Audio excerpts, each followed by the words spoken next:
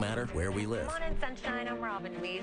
Jumping right in. Thank you so much for joining me. Any minute now. From Georgia- one main street to another, Now on to some news that could affect many American families. there are stories that we all feel. You're going to want to hear about this right now.